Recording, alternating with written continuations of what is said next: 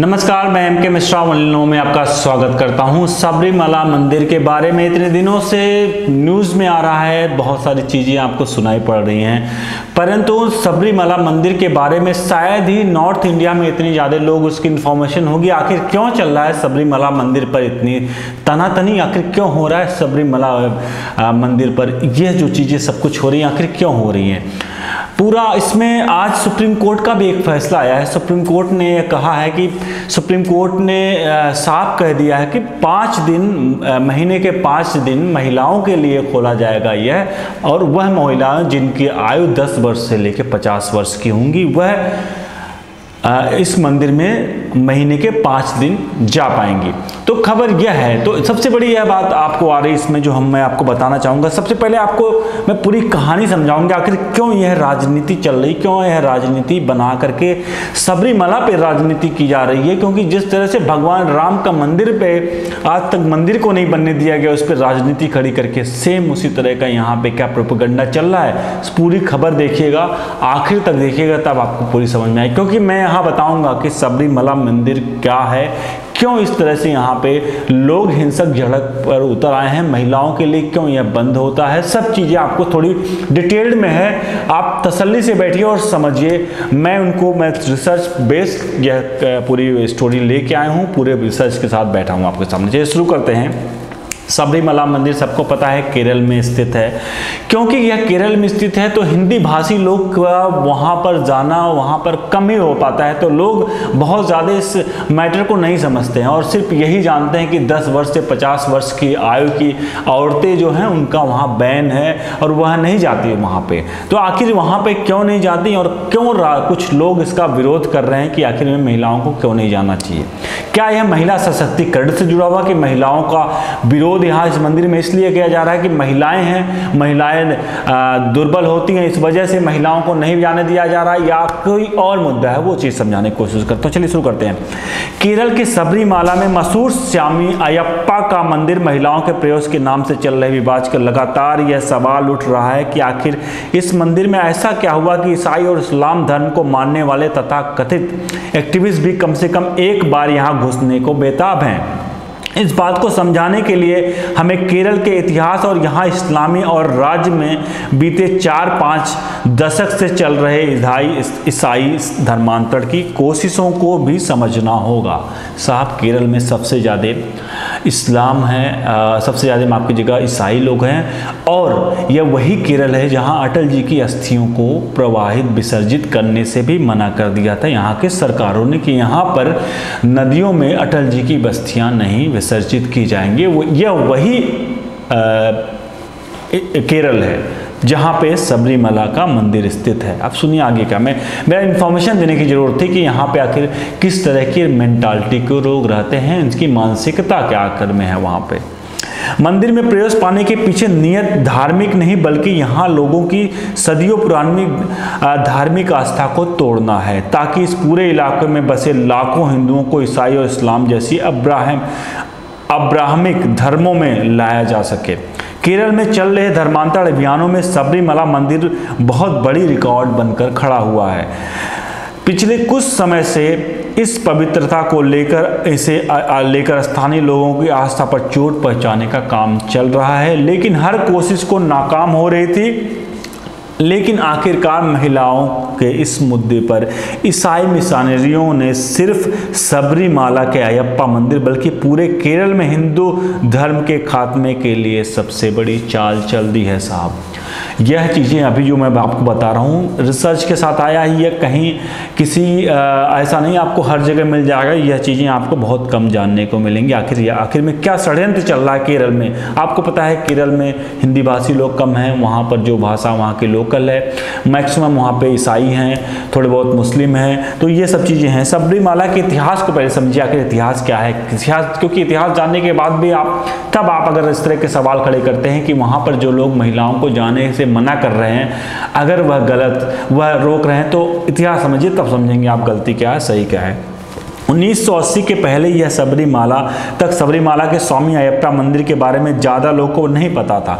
केरल और कुछ आसपास के इलाकों में बसने वाले लोग यहाँ के भक्त थे। 70 और 80 के दशक का यही वो समय था जब केरल में ईसाई मिशनरियों ने सबसे मजबूती के साथ पैर जमाने शुरू कर दिए थे। उन्होंने सबसे पहला निशाना गरीबी और गरीबों और अनुसूचित जाति को के लोगों को बनाया। इस दौरान बड़े पैमाने पर यहाँ लोगों को ईसाई बनाया गया। इसके बावजूद लोगों की मंदिर में आस्था बनी रही। इसका बड़ा कारण यह था कि मंदिर में पूजा का एक विशेष एक विधि तय थी, जिसके तहत दीक्षा आधारित व्रत रखना ज़रूरी था। सबरीमाला उन मंदिरों में से एक था जहाँ पूजा पर किसी जाति का विशेषाधिकार नहीं विशेषाधिकार नहीं था। किसी भी जाति का हिंदू पूरे विधि विधान के साथ व्रत पालन करके मंदिर में प्रवेश पा सकता था। सबरीमाला में स्वामी अयप्पा को जागृत देवता माना जाता है।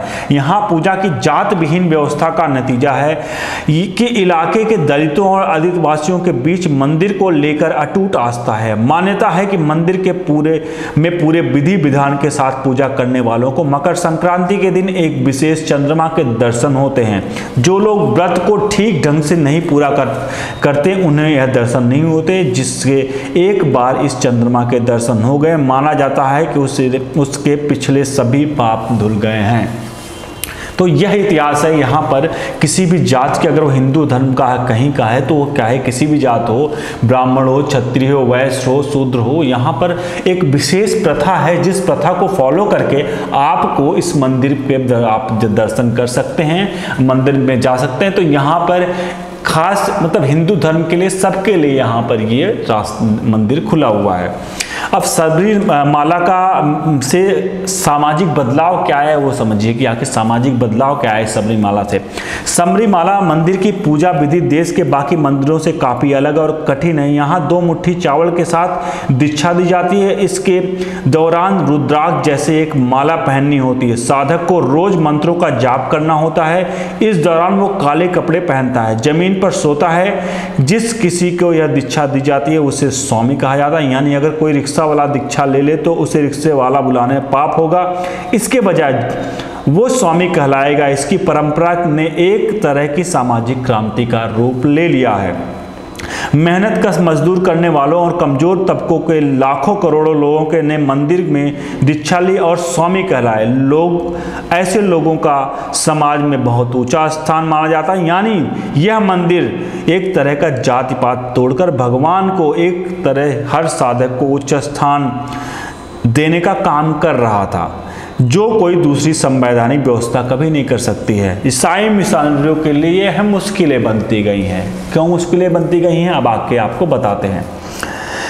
सबरीमाला मंदिर में समाज के कमज़ोर तबकों के एंट्री और वहाँ हो रहे सामाजिक बदलाव ने ईसाइयों, मिशनरियों के कान खड़े कर दिए। उन्होंने पाया कि जिन लोगों को उन्होंने धर्मांतरित करके ईसाई बना लिया है, वो भी स्वामी अयप्पा में आस्था रखते हैं। और कई ने ईसाई धर्म को त्याग कर वापस सबरीमाला में स्वामी के तौर पर दीक्षा ले ली। यही कारण है कि मैं मंदिर ईसाई मिशनरियों की ईसाई मिशनरियों की आँखों में लंबे समय से खटक रहा था। अमिताभ बच्चन, यशुदास जैसे बड़े लोगों ने भी स्वामी अयप्पा की दीक्षा ली है। इन सभी ने भी मंदिर में जाकर दो मुट्ठी चावल के साथ दीक्षा ली है। इस दौरान उन्होंने चप्पल पहनना मना होता है था।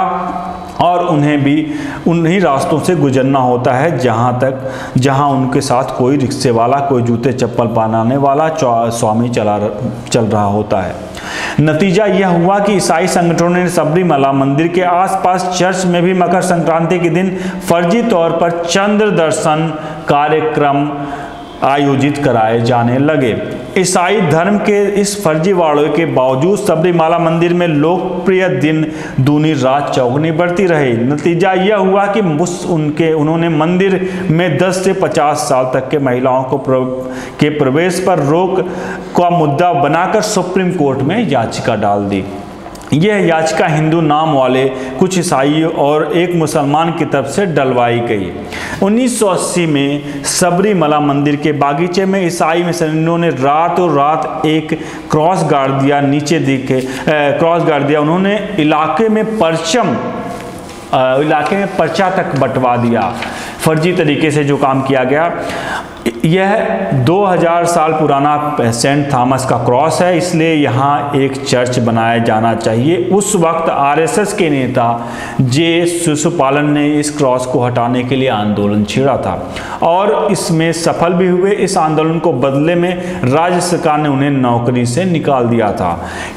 देखिए साहब, कितना बड़ा षडयंत्र था। आपको सब समझ में आ गया होगी आखिर में क्यों यह यह चीज़ें क्यों आखिर में उठाई जा रही हैं? उन्हें पता है कि एक यही है जहाँ केरल में पूरी तरह से ईसाई मशीनरियों का और मुस्लिमों का वहाँ पर पूरी तरह से वर्चस्व है, वहाँ पे हिंदू धर्म का। तो यह लोग चाहते हैं कि अब हिंदू धर्म का एक ही मंदिर है जो अयप्या स्वयं का सबरीमला मंदिर, इस मंदिर में किसी तरह से इसको तोड़ करके वहाँ कोई अन्य धर्म का स्थल बना दिया जाए। तो इससे क्या होगा कि वहाँ पर जो हिंदुओं का वर्चस्व बढ़ा हुआ है मतलब हिंदू जो कुछ बचे हुए हैं, उस उन हिंदुओं को खत्म किया जा सके। आगे बढ़ते हैं। केरल में हिंदुओं पर सबसे बड़ा हमला क्यों है ये?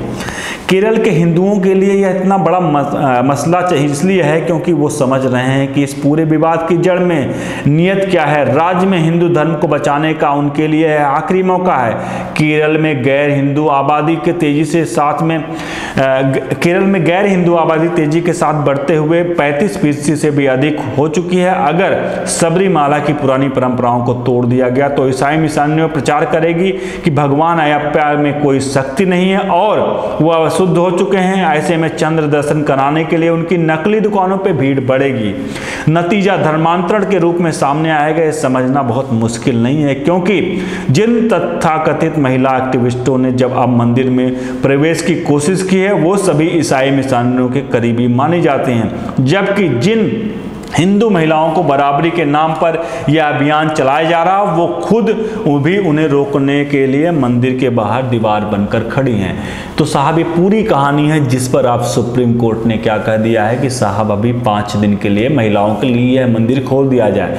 मतलब जो एक परंपरा है, जिस परंपरा पे वह मंदिर चलता आया, उस परंपरा को तोड़ करके अब क्या होगा कि उसमें एक एक अपनी परंपरा को विकसित किया जाएगा और वहाँ पे ईसाई मिशनरियों का अपना बोलबाला बढ़ेगा, उससे वर्चस्व बढ़ेगा। आपको याद होगा, कुछ ही दिन पहले जी न्यूज़ ने एक पोल खोली थी, एक बहुत बड़ा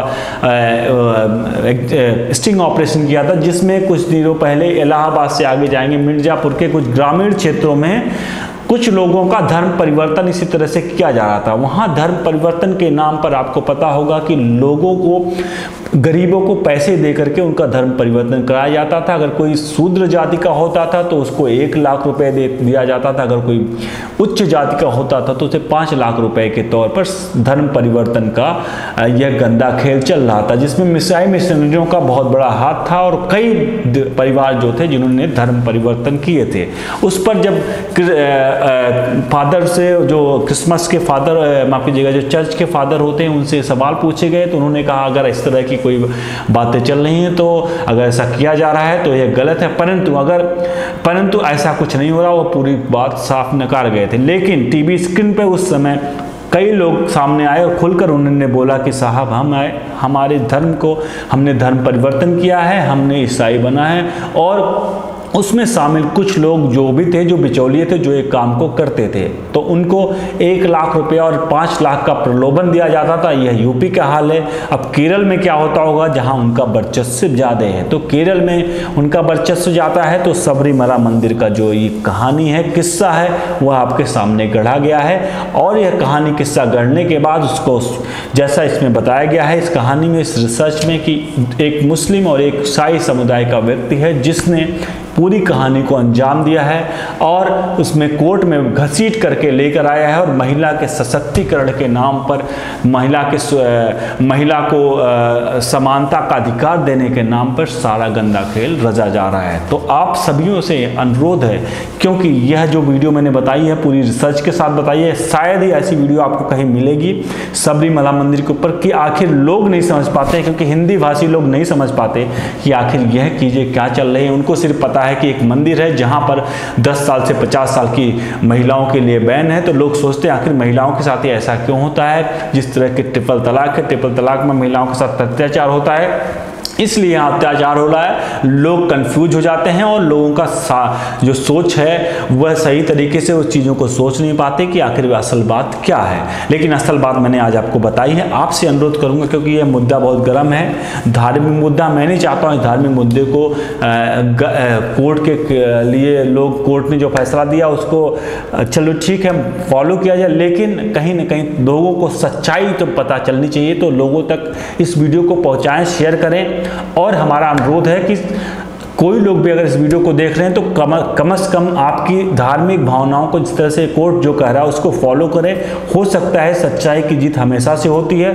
तो आप सच्चाई पे रहिए, आप कोई भी हिंसक प्रदर्शन ना करें, ना हिंसक कोई ऐसे घटना करें, जिससे किसी को भी चोट पहुँचे।